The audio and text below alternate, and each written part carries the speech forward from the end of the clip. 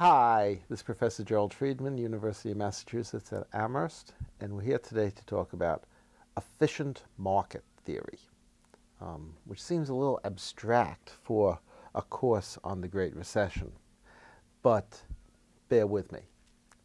This is the theory that underlay the drive to deregulate financial markets.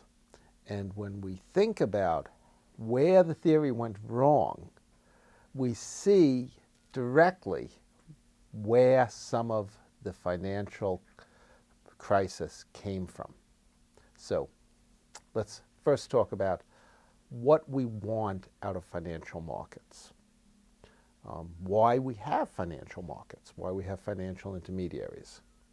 Um, and we can go back if we want, because this is the way efficient market theory is derived. We can go back to Robinson Crusoe. Robinson Crusoe some days liked to work really hard. Uh, some days the fish were popping. Um, there were lots of coconuts. There was a lot to do.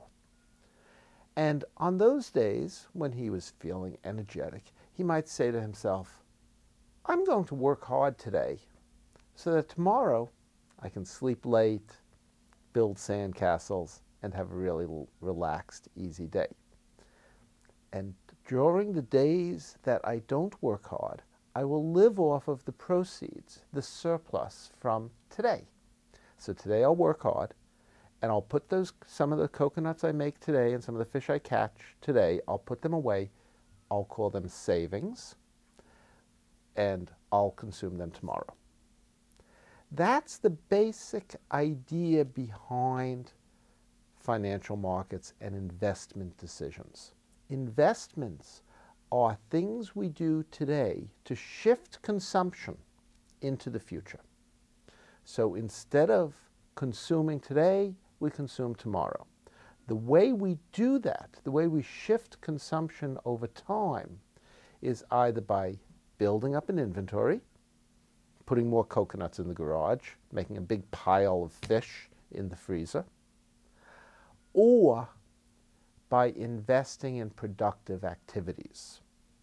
So, building a canoe so I can fish more efficiently tomorrow, or building a ladder so I can uh, get more coconuts. That's working today so I can consume in the future.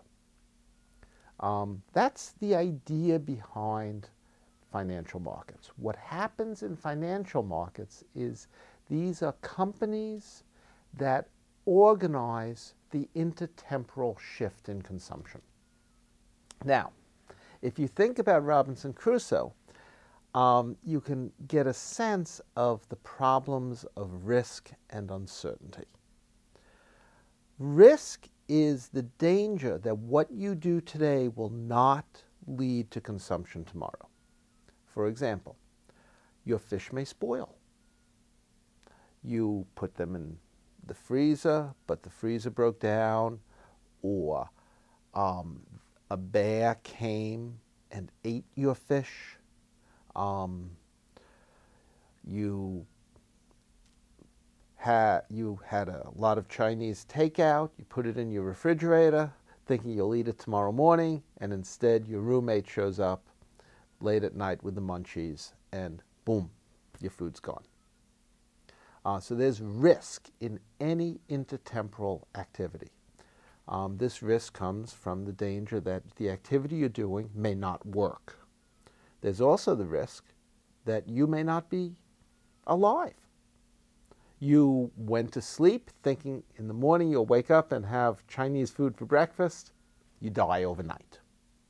That's too bad. That Chinese food's wasted. Maybe there are other problems with that too. Um, there's also the danger that you will change. You go to sleep thinking you like Chinese food, you wake up in the morning, you want pizza for breakfast. Oh well. So there's risk. Now, some of that risk can be calculated. Um, we don't know what will happen in the future, but the future is often kind of predictable.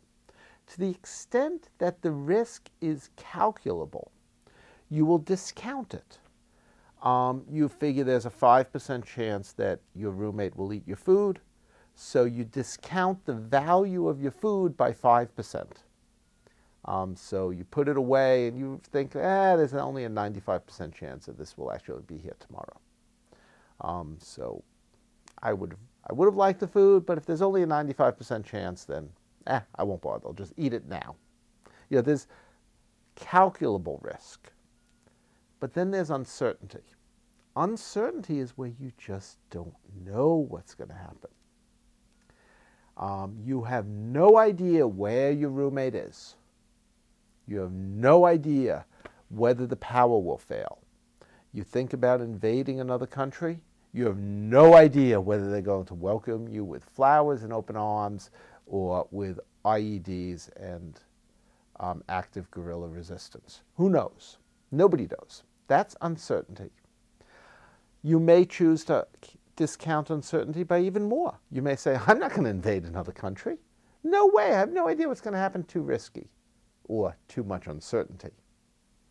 Somebody else may say, I'm happy to take the risk. I'm happy to deal with the uncertainty. I love uncertainty. That's where you get financial intermediation and insurance. You have no idea whether you will have a heart attack or get cancer or get sick in some other way in the next year. If you did, it would be a really, really, really terrible thing. And you want some protection against that. That's where you buy insurance. You buy health insurance. You give up a little money now because you want some protection in the, in the uncertain chance that something really, really bad will happen in the future. Much of financial activity involves insurance. It starts out as intertemporal substitution consume tomorrow, save today. But in the process, it actually, much of what goes on in financial industries is actually insurance. We put our money in the bank, um, accepting that, you know, they're going to be keeping some of it for themselves, um, on the idea that that will protect the money from being stolen. You know, why don't you leave your cash under your bed? Somebody may break in your house. Um, a rat may come and eat your, eat the paper. You know, all sorts of weird things can happen. So you put it in the bank. You know that the bank's going to be making lots of money on it, more money than they give you back. But still, that's a better deal for you because you are protected. You are buying an insurance policy that ensures you that your, a certain amount of your money will still be there a lot of what we do in financial markets is involved in insurance. Now, that leads to a final problem.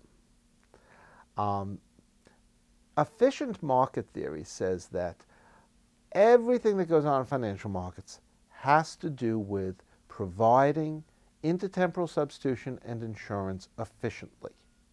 Efficiently meaning that consumers get what they want at the best possible price. The price being guaranteed and protected, we're protected against exploitation by competition among providers. If there are lots of banks out there, we will get the highest rate of return possible. If there's lots of insurance companies out there, we will get the best insurance rate possible. Otherwise, if somebody's making extra profits off us, then other companies will jump in sell, it, sell the products to us at a better price, so we will get a higher rate of return or a lower insurance premium until the point where everything is perfectly efficient and optimal. If anybody's taking advantage of us, competition will drive them out of business, assuring us of the best return we can that's possible. That's great in theory, but think about real financial markets. First of all, there is no competition. The New York Stock Exchange is a monopoly. There are a certain limited number of companies um, uh, allowed to deal on the stock exchange. Um, same for the NASDAQ and every other stock community. Beowulf is all tangled up now. That said, um, there are also a limited number of banks. Only certain number, certain people can operate banks. Now, why do we have restrictions on these things? You know, why do we restrict the number of banks and the number of insurance companies? It's not only to maintain monopoly profits, although that's probably part of it, but the real reason is we don't trust everybody. How do you know if your bank is being honest? There's a whole giant problem of asymmetric information. Financial activities are complicated. You know, I've tried to give you a 10 minute summary of what it's all about, but you know, you get down to the basics, you get the small print, you get who knows what's really going on? The only people who really know what's really going on are the people in the companies. They know more than we do about what they're doing with our money. We want regulators to come in and protect us. Otherwise, what happens? Banks and insurance companies are in a great opportunity to commit fraud, to take your money and then run with it, to embezzle in one form or another. If you have any questions about that, I suggest you Google Enron or Bernie Madoff, um, and there are many others. Those are two that come right to mind.